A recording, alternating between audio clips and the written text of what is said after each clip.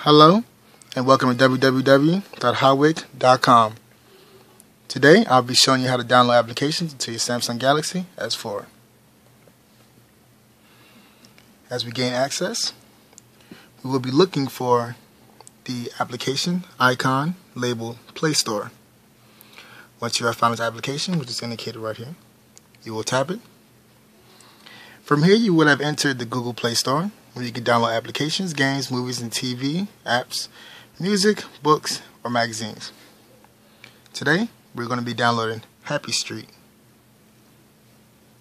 Go to tap the application. After tapping the application, we're going to tap on install to start the download process. We're going to get the app permissions. We're going to accept. And upon accepting, you will notice that the download has started. All you need to do after this is simply wait for the download to fully install onto your device. Thank you for watching. And for more in-depth How Wikis, please visit www.howwik.com.